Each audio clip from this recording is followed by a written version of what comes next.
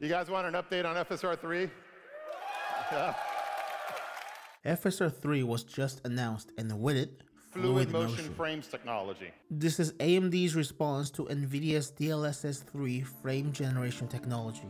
Like many, I've been watching and reading coverages of this announcement, but I noticed most people have no idea that a version of Fluid Motion existed before FSR 3. AMD's Fluid Motion Video was created in collaboration between AMD and Cyberlink, a company that makes multimedia softwares.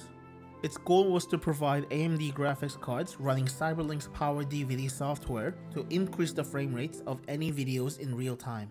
It was an exclusive feature for Power DVD, but like most things in life, people found a way to use it in different places. A user-created software called Blue Sky Frame Rate Converter enabled you to use fluid motion in any video player you wished. And with that, fluid motion picked up momentum. Still quite niche, but it actually gave people reasons to actively go out and buy AMD graphics cards. Looking at some examples here, you can understand why. It's incredible they can do this in real time. But like all niche products, Fluid Motion was quickly abandoned by AMD, starting with the new RDNA graphics cards.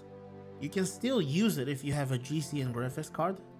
As a matter of fact, some people bought older GCN cards just so they can use this feature. The new FSR3 Fluid Motion shares the same name and feature, but we do not know if it uses the same technology. We'll have to wait until it comes out.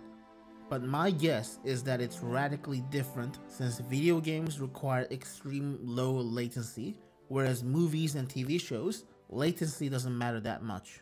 So far, AMD has not mentioned if the fluid motion can be used outside of gaming, but I assume, just like before, people will find a way. That's it for now. Bye.